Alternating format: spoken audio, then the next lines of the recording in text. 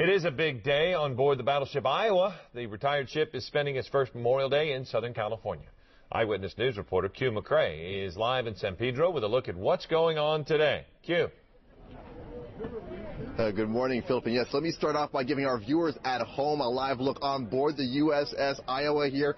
Take a look at all the visitors. This is by far the most visitors they've had on this ship since it permanently docked here on July 7th of last year. So they want to make sure that everybody on board here gets a great experience on board, that they get a good look at all the canyons here, but that they also completely understand USS Iowa's backstory.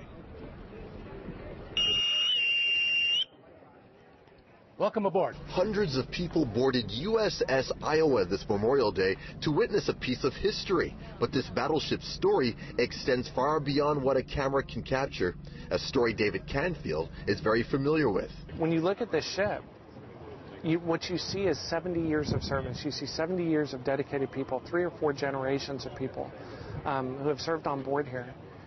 And that's what we want to remember. Canfield served on the Iowa as a Navy engineer. He was on board April 19, 1989, when an accidental explosion damaged the ship and killed dozens. When that happened, 47 of my shipmates lost their lives. And so today is a time to stop and remember those people. That's not the story of the Iowa, but it's part of the story of the Iowa. Each of his fallen seamen immortalized on this plaque for everyone to see this Memorial Day.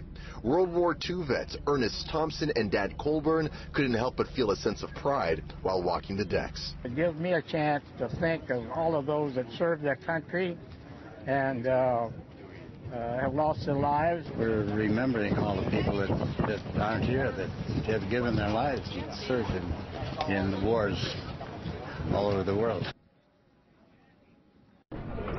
USS Iowa, excuse me, quits selling tickets at 4 p.m. So if you want to come on down and get a closer look at this battleship, you're more than welcome. Everyone's invited. Live from San Pedro, I'm Q McCray, ABC 7 Eyewitness News. All right, thanks, Q.